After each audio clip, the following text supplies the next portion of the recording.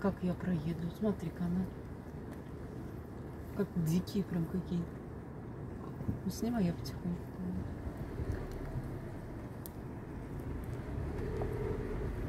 Пец. Дикий, не дикий хер, да, домашний. Просто такая порода, наверное.